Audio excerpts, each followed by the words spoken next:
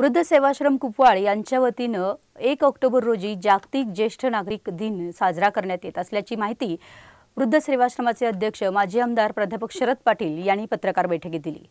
प्रतिवर्षाप्रमाणे जागतिक ज्येष्ठ नागरिक दिन सर्वत्र साजरा केला जातो. प्रतिवर्षानं नव्वद वर्षावरील ज्येष्ठ नागरिकांचा सत्कार करण्यात येणार आहे.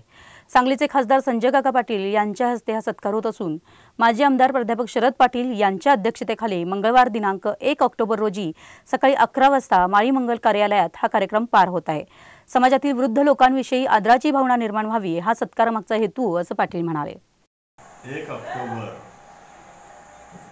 हा दिवस ज्येष्ठ नागरिक दिन म्हणून निश्चित करण्यात आलेला असून जगभर एक ऑक्टोबर हा दिवस ज्येष्ठ नागरिक दिन म्हणून साजरा होत असतो.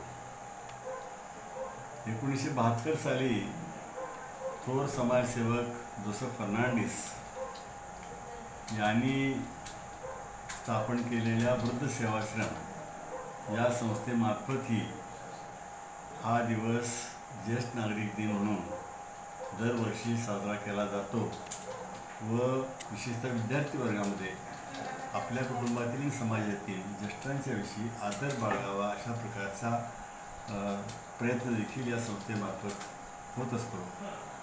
मी जिल्ह्यातल्या सर्वांना आवाहन करत आहे की या दिवशी ज्येष्ठ नागरिकांच्या त्या समस्या समजावून घेऊन त्यांना सन्मानाची वागणूक देण्यासाठी सहकार्य करावे.